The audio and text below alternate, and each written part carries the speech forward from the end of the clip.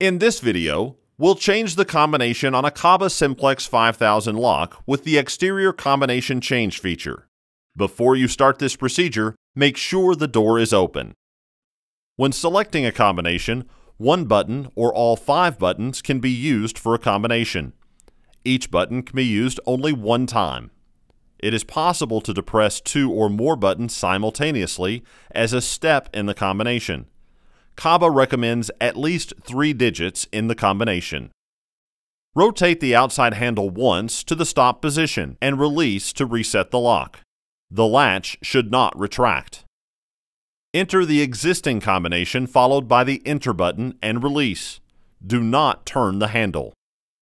In order to change the combination in the lock, a determination must be made as to whether or not it will be an interior or exterior combination change, and follow appropriate procedures.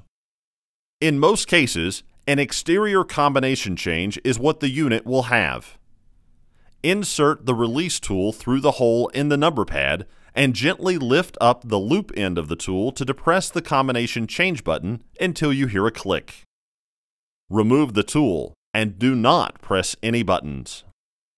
Rotate the handle once and only once to clear the old combination. The latch will retract. Then release the handle. Enter a new combination, followed by the Enter button. Rotate the handle and release. The combination has now been changed. Always test the new combination with the door open. Once you have confirmed the new combination, the process is complete.